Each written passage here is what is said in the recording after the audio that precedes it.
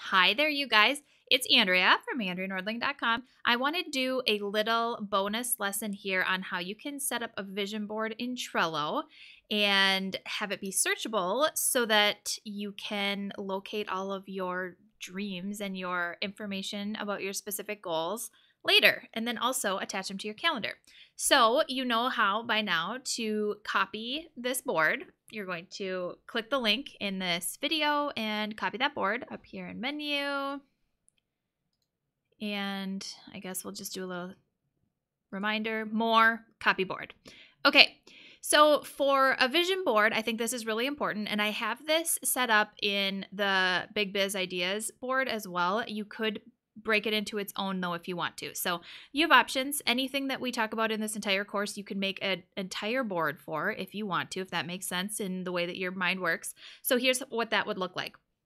In this vision board, I have three lists. This is what works for me. I have a be list, a do list, and a have list. And these are long term goals and um, ideas and things that I want to obviously be, things I want to do, and things I want to have and I don't want to forget them. So if you have currently uh, multiple Pinterest boards that are cluttered with images and links and ideas of things that you don't want to forget, but you end up forgetting because you have no idea where they are, this is going to be your solution. Okay. So, in the be list, obviously, we're going to make cards for things we want to be. And I'm going to give a few examples here. So, for example, for me, I want to be debt free. So I have a card that says I want to be debt free. Cool. But I also have some images that come to mind about being debt free, and I want to attach it there and give you an option to show how to do that if it makes sense to you. So open up that card, and um, if you need to, you can put in a description about what your card is all about, what it means for you. Make it make it full of keywords so that you can search it later. And then I'm going to put in an attachment that's an image. You can do that in the comments or you can do it right here with the attachment button. But if you use the attachment button, you won't be able to um, rename that or search it later. And since I do screenshots for this, my I just have like a random screenshot attachment name. So I like to do it in the comments here.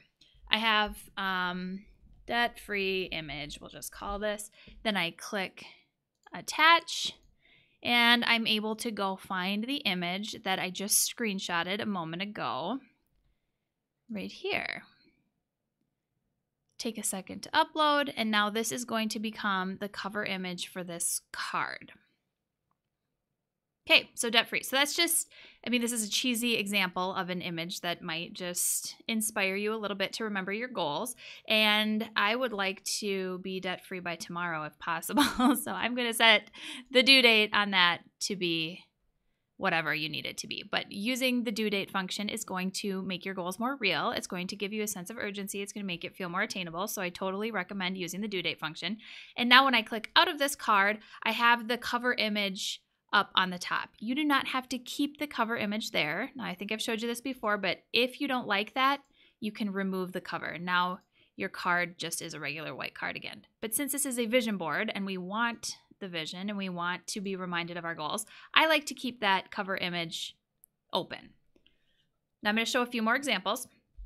In my do column, I want to I want to donate 10% of my income.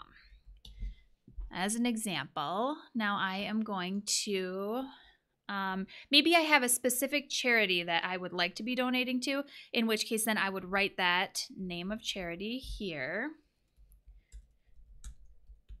And then attach the image that inspires greatness to go along with this item, which here is the little donate um, this isn't a very specific example. Save that. Now, if I ever want to remember what that charity was, I know that at some point I wrote down a charity that I wanted to donate to.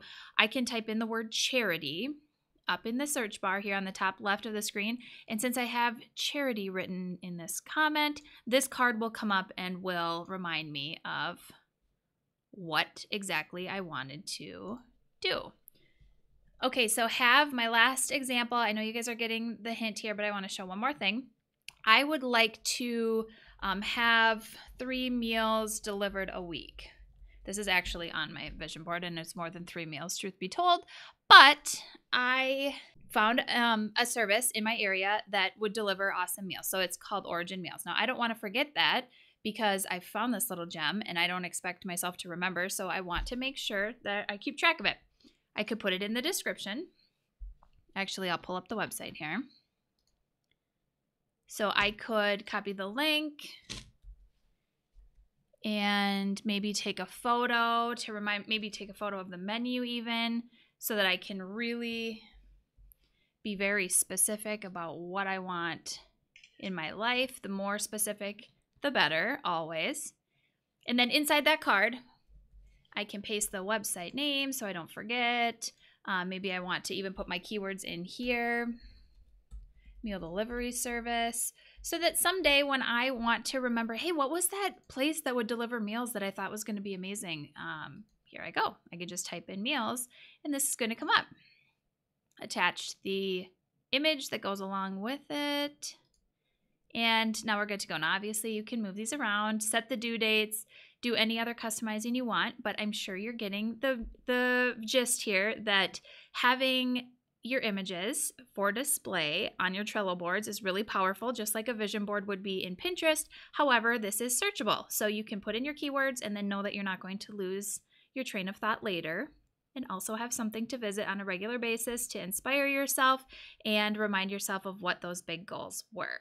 So enjoy your be, do, and have lists, and I'll see you in the next lesson.